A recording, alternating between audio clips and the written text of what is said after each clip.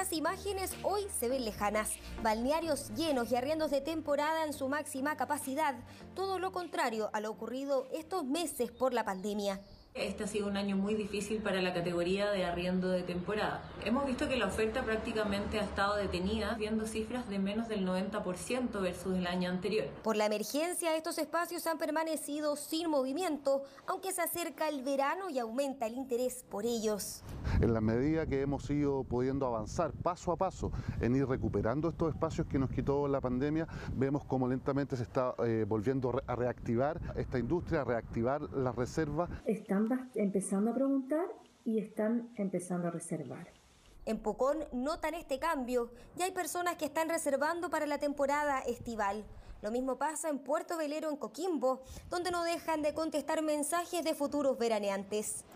La gente está entusiasmadísima concretando reservas para el verano. Ha ayudado mucho el desconfinamiento. La gente no ha podido salir fuera de Santiago un sector que se reactiva con las menores restricciones y que incluso podría convertirse en una alternativa más segura en cuanto a medidas sanitarias. Eh, van a preferir eh, ir a una casa o un departamento para arrendar en vez de ir a un hotel que va a estar eh, con un flujo mayor de personas con los cuales podría generar un índice mayor de contaminación.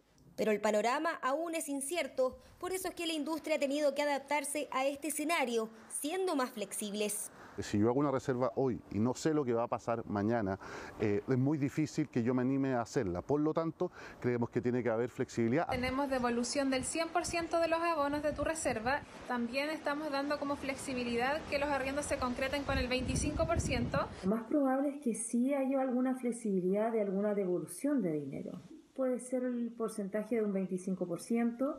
En el norte también han notado este creciente interés. En este caso, el sector hotelero se está adaptando para los turistas. A partir de octubre se están reactivando las reservas. Estamos siendo muy flexibles con el tema de, de modificaciones, de cambio de fecha frente a todo esto. Ya para enero y febrero de otro año ya estamos teniendo un alza de las reservas aproximadamente como actualmente entre 10 y 20 habitaciones. Tenemos la esperanza de que, de que va a repuntar eh, y ya en verano vamos a tener una, una buena ocupación. Un panorama esperanzador para el rubro y también para quienes ven con optimismo los próximos meses que podrían pasarlos descansando fuera de casa si la emergencia lo permite.